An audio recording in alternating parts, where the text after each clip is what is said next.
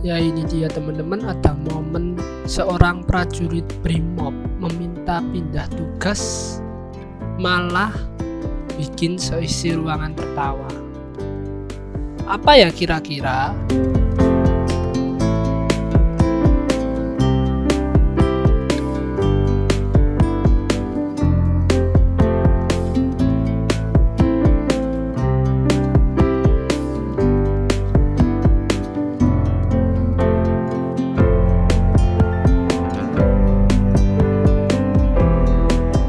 Ya ini dia teman-teman Baru-baru ini ada viral prajurit Brimob meminta pindah tugas ke Kapolri secara langsung malah bikin seisi ruangan tertawa.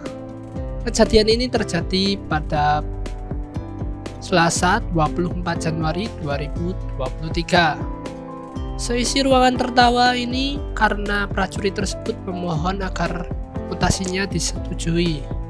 Namun alasannya malah bikin ngakak. Alasan tersebut yakni karena alasan asam urat. Akibat alasan tersebut yang diujarkan oleh prajurit Brimob Kapolri Jenderal Listio Sigit Prabowo tertawa mendengar hal tersebut.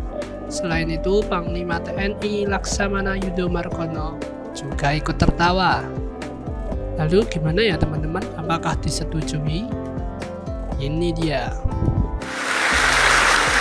Yang terakhir, Jenderal mohon izin. Mungkin ada regenerasi sudah di atas 15 tahun dinas di Papua yang penempatan TR pertamanya tiba di Papua mungkin di atas 15 tahun di saat dia mengajukan pemindahan bisa di ACC karena banyak yang sudah sakit asam urat mohon izin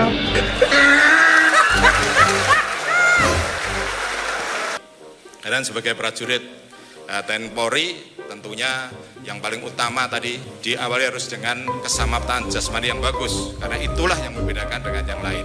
Jadi asam urat itu bukan bukannya karena nggak pindah-pindah bukannya nggak karena nggak sekolah enggak yaitu tadi karena jarang olahraga sama banyak dongkolnya tadi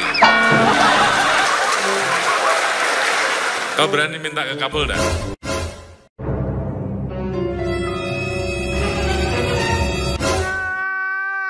Berani? Berani minta pindah? Saya tidak berani minta pindah. Pak Kapolda gimana Pak Kapolda? Dikasih nggak? Ya kau nanti ngadep Kapolda ya.